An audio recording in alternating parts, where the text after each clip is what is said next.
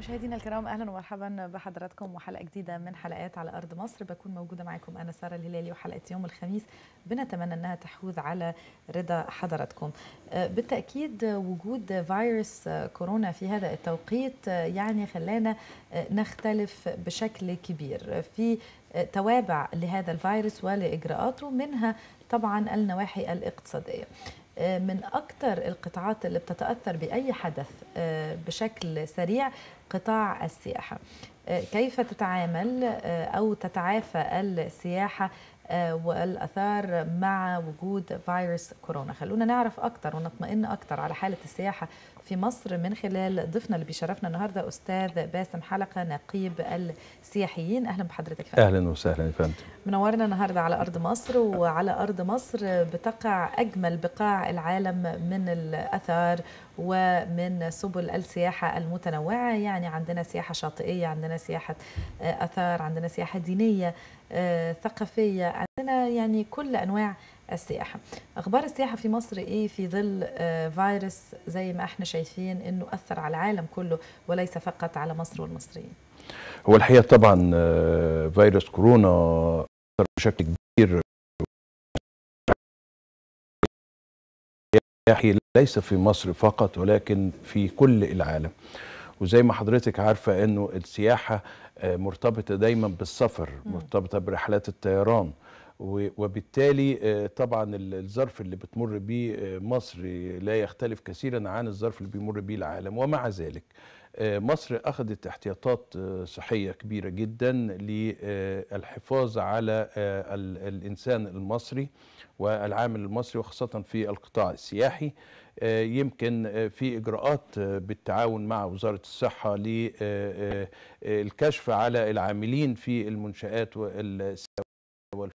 الفندقية اللي موجودة اللي نطمن عليهم وفي حالة وجود أي اشتباه بيبتدي الاتصال فورا بوزاره الصحة لعمل الإجراءات الاحترازية اللازمة لعدم انتشار هذا المرض أو هذا الوباء. طبعا إحنا تقريبا نقدر نقول إنه منشآتنا الفندقية تقريبا متوقفة تماما. انتهزنا هذه الفرصة لتعقيم هذه المنشآت و بحيث إنها تكون جاهزة لاستقبال السياحة مرة أخرى. بنفكر إن إحنا نشتغل بشكل تدريجي. يعني إن شاء الله يمكن بنامل ان إحنا نبتدي بالسياحة الداخلية على الأعياد القادمه مع أخذ الاحتياطات الصحية اللازمة. يعني نقدر نقول إنه الفنادق مش هنشتغل بالكباستي الكامل ليها هنبتدي نشتغل حتى لو تدريجي بنسبة إشغالات 25% ونبتدي نتحرك فيها ويبقى في احتياطات صحية زي ما قلت لحضرتك سواء للعاملين باستمرار النزلاء الأماكن في المطاعم في الحمامات السباحة في الغرف. والحقيقة الفترة دي إحنا بنستغلها في تدريب العمالة على عملية الاحتياطات الصحية اللي هيبتدي يتبعوها سواء في المنشأة أو مع الجست اللي هيجي الفندق. حجم الخسائر بقى؟ يعني أكيد في خسائر يعني إحنا كنا بنبني في قطاع السياحة بقالنا فترة لأنه زي ما حضرتك تعلم الظروف اللي عشناها قبل كده أثرت بشكل كبير على السياحة. ابتدينا نتعافى شيئا فشيء ثم أتى الفيروس. نقدر نقول حجم الخسائر قد إيه وهنقدر نعوضها في خلال قد إيه؟ هو طبعا الخسائر في القطاع السياحي في مصر فادحة لأنه عايز أقول لحضرتك أن كل شهر القطاع السياحي بيدخل تقريبا حوالي مليار دولار. مليار دولار ده رقم كبير جدا بيعزز الاحتياط النقدي المصري وبالتالي أصبح غير موجود. يعني خلال الفترة اللي جاية بنبتدي واحدة واحدة كده يعني نحسن الدخل الاقتصادي مع تشغيل رحلات الطيران لأن كمان رحلات الطيران هتبتدي تشتغل برضو على استحياء ويمكن عندي خبر مفرح للمصريين وزمايلي في القطاع السياحي بنقول لهم إنه ألمانيا هتبدأ تشغل رحلات يعني لعدة وجهات في العالم ومن ضمنها مصر كجهة آمنة. عايز أطمن زمايلي كمان وأقول لهم إنه يمكن مصر مع دخول فترة الصيف وزيادة درجة الحرارة في الجو ده بيقلل بشكل كبير جدا فرص الإصابة أو العدوى من فيروس كورونا. وبالتالي مصر أعتقد هتبقى زي ما بنقول كده الواجهة السياحية الأكثر امانا في العالم. وأعتقد إنه في كتير من الأوروبيين هيهربوا من بلادهم وهيجوا عشان يقيموا عندنا في مصر بنتمنى ده. يعني. طبعا ده إحنا بنترك هذا الكلام للأطباء لكن هو الفكرة إنه نقدر نعوض بشكل سريع فكرة الخسائر. إزاي حضرتك بتشوف بقى دور الدولة في التدخل للحد من الأزمات؟ يعني إحنا شفنا الحقيقة قرارات واضحة وصريحة للحفاظ على المواطنين.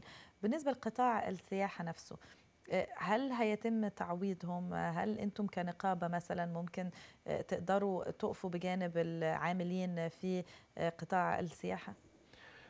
طبعا الدولة أخذت عدد من القرارات المهمة جدا والإجراءات اللي تخفف من يعني نتائج الأزمة على العاملين في القطاع السياحي.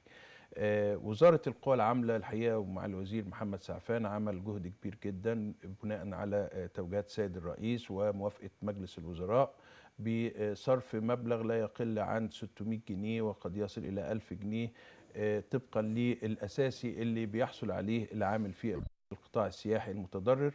وتم التمويل على جميع المنشآت السياحية بعدم تسريح العمالة. وإنه الدولة هتحاول تعوض هذه العمالة وتعوض هؤلاء المستثمرين بمبالغ يعني إعانة لمدة شهرين أو ثلاثة لغاية ما الأمور تتحسن أكتر.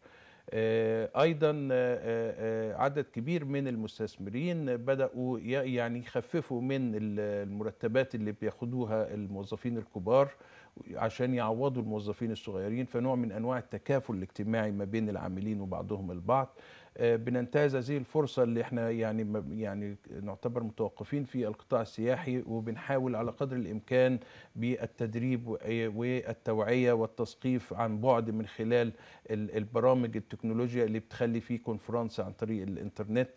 بنحاول على قد ما نقدر نطلع مساعدات لزمايلنا اللي تضرروا من هذه الأزمة وظروفهم المادية يعني بسيطة. بنطلع بعض المعونات اللي موجودة ليهم. الحقيقة بنحاول نجتهد على قد ما نقدر لكن أنا شايف أنه الظروف بتتحسن.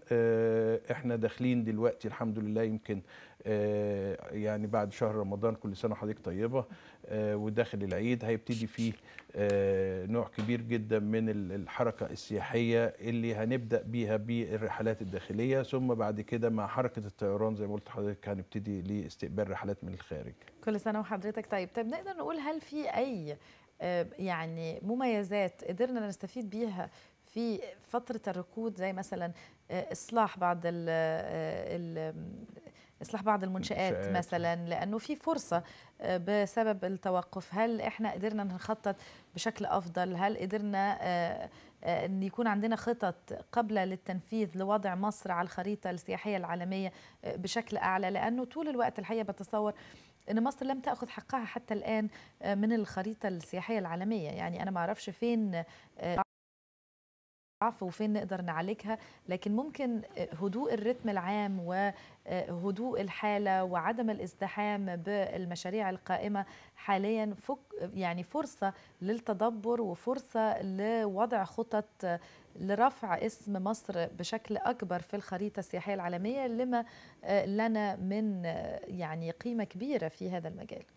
هو الحقيقة طبعا وزارة السياحة عملت مبادرة اسمها اكتشف مصر من بيتك والحقيقة بيتم تصوير بعض من المناطق الأثرية والسياحية اللي موجودة وبيبتدي في شرح بالاستعانة بعدد من المرشدين السياحيين ونشر هذه الجولات السياحية الافتراضية على مواقع الوزارة وعلى ال social media. والحقيقة دي عملت رواج كبير جدا في تحفيز كتير من الأجانب وأشاد بها عدد كبير من وكالات الأنباء والصحف العالمية ويمكن ال CNN نشرت برنامج كامل عن هذه المبادرة. وقالوا أن مصر عملت فكرة جديدة في الترويج لمصر بحيث إنه بعد انتهاء أزمة كورونا هتكون مصر من الدول المهمة أو الأساسية أو الرئيسية اللي يعني تحفز كتير من السواح أو الأجانب إن هم يزورونا. والخطوة دي على فكرة كانت مهمة جدا لأنه كمان حتى المصريين كانوا عندهم القدرة من وهم في بيتهم إن هم يتابعوا هذه الأفلام وتعطيهم المزيد من الثقافة للمناطق السياحية. وفي نفس الوقت الحقيقة إحنا شغالين على الاستعدادات لافتتاح المتحف المصري الكبير والشغل لا يتوقف ويمكن خففنا شوية من العمالة وبنعمل الاحتياطات الصحية اللازمة. لكن بشكل عام إحنا لا نتوقف ودايما مستعدين. يمكن حتى برضو زي ما حضرتك قلتي بعض المنشآت اللي كان عندها بعض الصيانات اللي بتتم فيها بدأوا نستهز هذه الفرصة إن إحنا نشتغل عليها. وأتصور إنه يمكن يعني قريبا جدا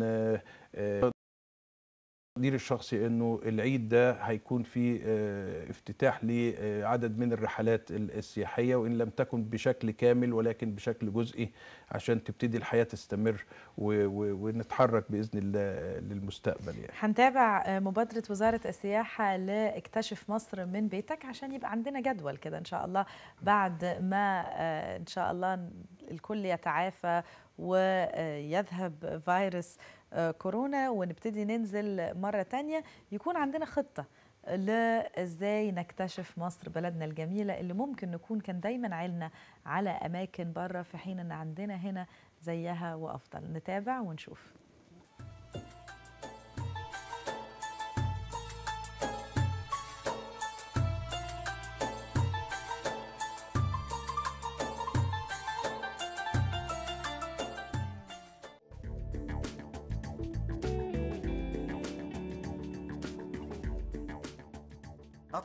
وزارة السياحة والآثار مبادرة الزيارات الافتراضية للمواقع التاريخية والأثرية المصرية للجمهور.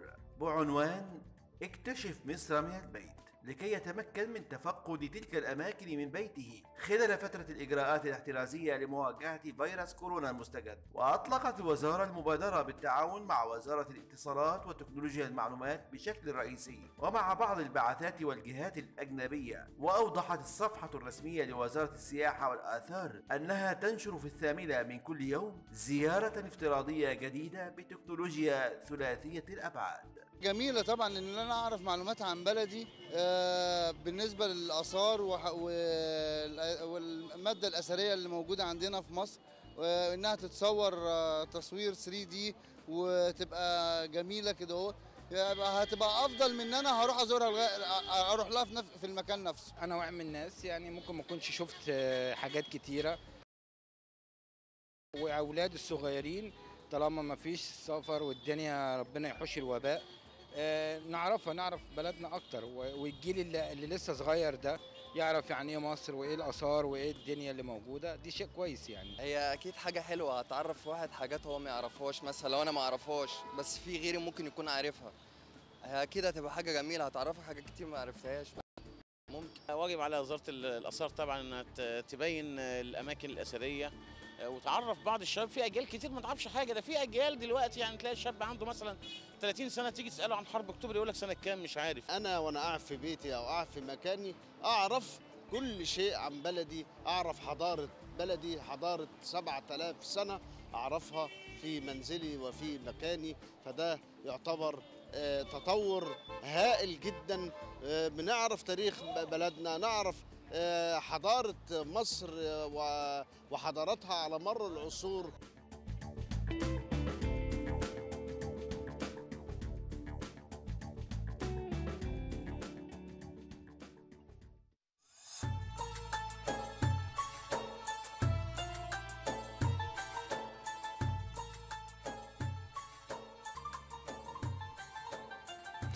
بنعود لحضراتكم على طول والحقيقة أستاذ باسم بعد ما الناس كان عندها جداول مزدحمة بشكل كبير وخصوصا في أوروبا وفي أمريكا آه، كان كل ويكند هو يعني رحلة محافظ عليها بشكل كبير يشوفوا أماكن جديدة و و و.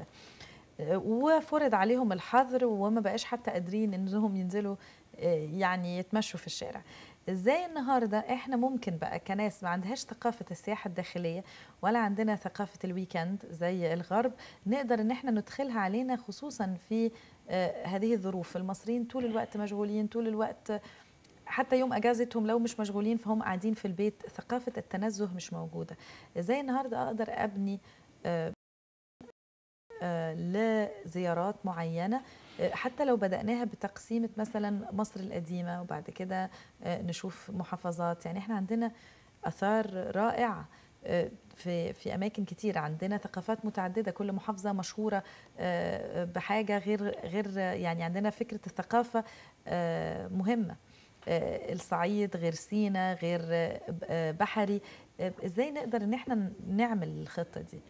شوفي أقول لحضرتك على حاجة. اولا يعني يعني أنا بدعو كل أسرة في مصر انه يكون زي ما بيكون ليها الدكتور المخصص بتاعها تكون ليه شركة السياحة اللي الخاصة بتاعته اللي هي تنظم له كل اللي هو محتاجه. عايز أقول إنه شركة السياحة عندها القدرة إن هي ترتب له الرحلات بتاعته وبأقل من الأسعار اللي ممكن هو يتصور إن هو ممكن يبقى شاطر وهيجيب تخفيضات أكبر. بالعكس شركة السياحة هتقدر ترتب له كل رحلاته بأرخص الأسعار حتى لو رحلات داخلية. داخلية أو خارجية. ويمكن موجود في كل شركات السياحة عدد كبير من البرامج السياحية يعني وأعتقد دي هتفيد للمجتمع الأسري أو لاولادنا وزي ما حضرتك قلتي ودي نقطة مهمة جدا طب أنا في القاهرة ما أبدأ أشوف المتحف الإسلامي المتحف القبطي مصر القديمة أشوف القلعة أشوف حتى لو هروح الأهرامات شارع المعز. شارع المعز. وبعدين ما تبقاش زيارة فقط لأنه مهم جدا إن شركة السياحة هتبتدي تجهز معايا مرشد سياحي وأنا بتجول باولادي وأسرتي يعني تحكي لي على كل مكان والتاريخ وتاريخ هذا الأثر و إيه يعني الخلفية التاريخية اللي كانت وراه وأسباب وجوده. أعتقد إنه كده يبقى إحنا نجحنا في إننا نعمل رحلات مفيدة لينا. ليس فقط على مستوى كمان الأسرة ممكن العيلة نفسها كلها تتجمع كلها ولاد العمام ولاد الخالات ويبقى يطلع لهم باص سياحي مخصوص ومعاهم مرشد سياحي يبتدي يحكي لهم عن الأماكن السياحية. ده بالنسبة لرحلات اليوم الواحد حتى لو هيبتدي يتحركوا برحلة إلى الإسكندرية فهناك أيضا في إسكندرية عدد كبير جدا من الأماكن السياحية اللي يقدروا إن هم يشوفوها. الفكرة مش في الزيارة فقط الفكرة في اللمة بتاعتنا اللي إحنا بنبقى فيها مبسوطين مع بعض. الفكرة كلها في شركة هي شايلة من دماغنا خالص كل الترتيبات. في باص بيتحرك بينا في مرشد بيبتدي يحكي لنا وصاحبنا في الرحلة. يعني الجو نفسه لا وفكرة إن إحنا بقى آن الأوان نورث ده لأولادنا ما نبقاش طول الوقت في حلقة خروج في البيوت المعتادة أو الزيارات المعتادة. فكرة إن الأطفال ما بيبقاش عندهم المساحة إن يقدروا يلعبوا. يعني عايزين نخلي فكرة إن إحنا قعدنا في البيت بالغصب يعني بسبب فيروس كورونا تغير فينا حاجات. يعني يبقى عندنا ثقافة يعني حتى في الأفلام آه الأبيض وأسود نلاقي إنه في آه مجموعة بتروح الفيوم في القناطر كان بيجي, ده آه الهرم آه كان نلاقي دايما آه في الأفلام إن هم راحوا الهرم كنوع من أنواع التنزه. إحنا عايزين نعلم ده لأولادنا إنه فكرة الراحة هي مش معناها إن إحنا ننام في البيت وخلاص معناها إن إحنا ناخد الأسرة وده على فكرة ليه أثر إيجابي جدا على التواصل العائلي الأب بأولاده. بيبقى له آثار إيجابية بشكل كبير وكمان الواحد بيبقى زعلان لما نلاقي إن إحنا عارفين أو ولادنا عارفين عن دول أخرى أكتر من اللي عارفينه عننا هنا في مصر. هو يعني بنقول مثلا رب ضارة نافعة يمكن فيروس كورونا من الفوائد اللي تمت فيها هي لم شمل الأسرة.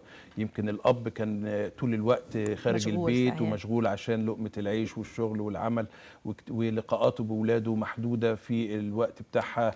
ال الأم معظم وقتها إذا كانت بتشتغل فبرضه وقتها محدود مع أولادها.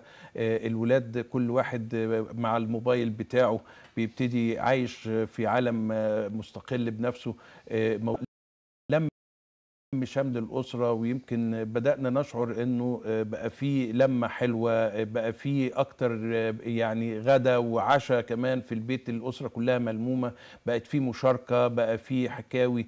إحساس الأطفال بوجود أبوهم معاهم لأنهم كانوا محرومين منه طول النهار فبدأت يعني يبتدوا يتقربوا من بعض أكتر. الحقيقة كلها عملت ألفة كبيرة للأسرة وده الحقيقة يعني ما بقربنا زي لمة رمضان اللي بنستناها من السنة للسنة. أعتقد ده يعني من الفوائد المهمة جدا لأنه بدأ الأطفال نفسها تحكي وتطلب من والديها المطالب وتبتدي تتناقش معاها في المشاكل اللي بتبتدي تقابلها. وكل ده الحقيقة بيساعد على عملية زيادة الألفة ما بين الأسرة المصرية مرة أخرى وعودة التقاليد اللي كانت موجودة وإنه الأب في مكانه موجود على السفرة واولاده فين وزوجته فين آآ آآ بدأوا يفكروا ويتفرجوا على التلفزيون مثلا فبيشوفوا بعض الأفلام وبعض الحاجات فبدا يبقى في تخير لنوع الدراما اللي بنتفرج عليها. هل هي هادفة وتساعد الأسرة ولا غير هادفة؟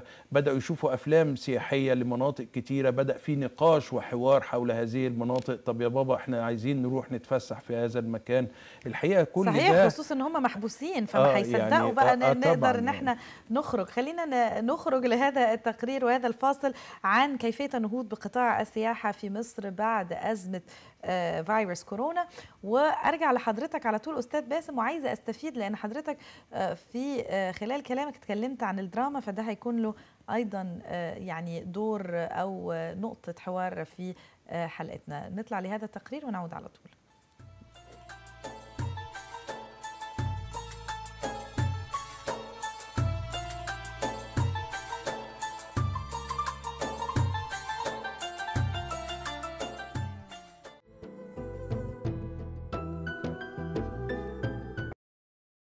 مع زيادة قيود السفر حول العالم للحد من انتشار جائحة فيروس كورونا. من الصعب تخيل كيف سيبدو قطاع السياحة والسفر بعدما تنقضي الأزمة.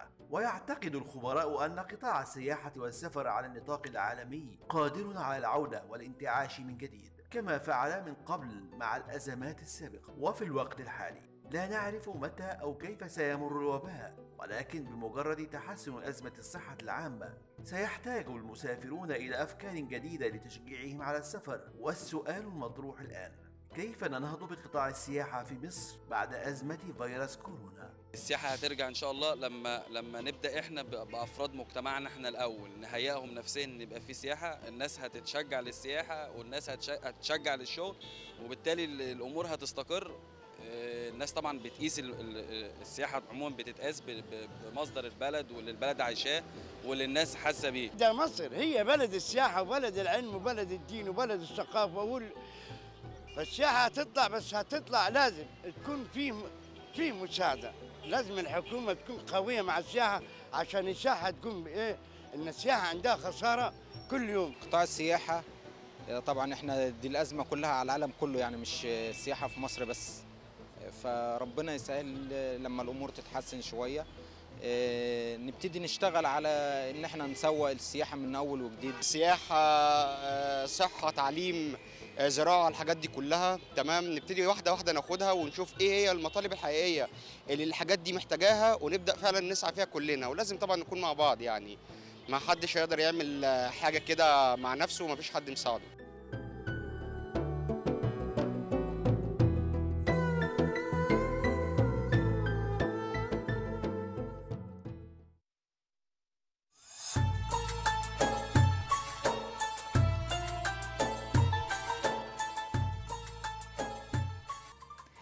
أستاذ باسم حلقة ونقيب السياحيين. أهلا بحضرتك مرة ثانية والحقيقة خليني أقول بأجواء رمضان وحتى المزيكا الرمضانية الجميلة بيرجعنا لأجواء إنه لولا الفيروس كان زماننا في خان الخليلي وفي شارع المعز وهذه المناطق الجميلة.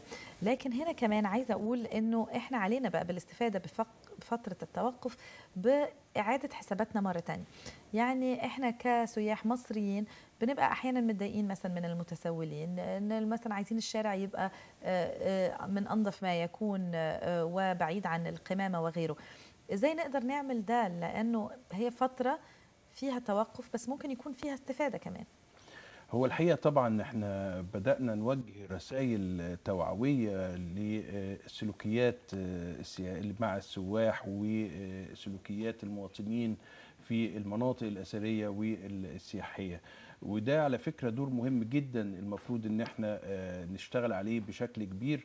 وإن كنا يعني نستهدف به وقت حالي بالنسبة للمواطنين الموجودين الباعة الجائلين إن المفروض ما يبتاش يلح في بيع الحاجة بتاعته. ودي سلوكيات عامة أعتقد إن إحنا بالتوعية ليها ممكن نحقق فيها نتائج كويسة. لكن الأهم هو بناء الطفل المصري لمستقبله بعد كده. يعني يمكن الأطفال في المدارس محتاجين دايما في حصة الأنشطة مادة خاصة بالسياحة والسلوكيات السياحية وأهمية السياحة ودورها في دعم الاقتصاد المصري والحضارة المصرية حتى يشعروا بالفخر والفخار لبلدهم. خصوصا ان أطفال العالم بيدرسوا تاريخنا. آه. يعني بحكم إن هو مهد للحضارة. عايزة أنتقل لنقطة تانية بشكل سريع فكرة السينما والدراما لأن هم عنصر أساسي في الحقيقة نقل يا إما أو تعظيم بعض المشاهد. يعني مثلا نذكر دول ما هذا الكم من السياحة ولكن الدراما الخاصة بها مجدت وعظمت وكانت سبب مهم للدخل الخاص بالسياحة. كمان هنا هنشوف إنه في بعض الأفلام أو السينما العالمية لما بتيجي تصور عندنا بتلاقي إجراءات تعسفية كبيرة. ده بيخليهم يلجأوا إلى مثلا المغرب وغيره لتصوير يعني مشاهد شبه مصر. وبيتقال إن الفيلم عن مصر ولكن ما بيتصورش في مصر. في حين ان هو ممكن يكون بمثابة ترويج لينا. حضرتك بتشوف دور السينما والدراما والتعامل معاهم بشكل يخدم السياحة المصرية كأداة مهمة للإعلان عن مصر.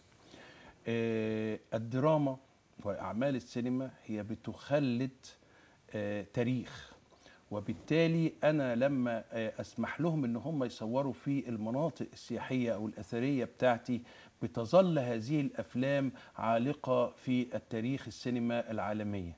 آه زي ما حضرتك قلت يمكن ودي فعلا يعني أنا فرصة إنه آه حصل اندماج ما بين وزارة السياحة ووزارة الآثار لأنه كان فيما قبل وزارة الآثار آه بتطلب رسوم مالية كبيرة جدا وعدد من الاشتراطات كبيرة جدا عشان تسمح للسينما الأجنبية إن هم يصوروا في المناطق الأثرية بتاعتي.